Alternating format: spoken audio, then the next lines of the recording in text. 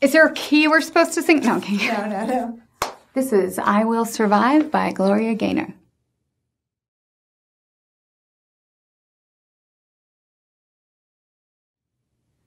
First I was afraid, I was petrified. Kept thinking I could never live without you by my side. But I spent oh so many nights just thinking how you did me wrong. But I grew strong, and I learned how to get along. And now you're back from outer space.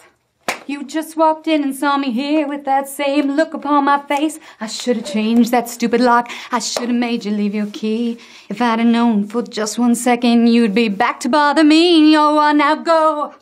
Walk out the door. Don't hang around here, cause you're not welcome anymore.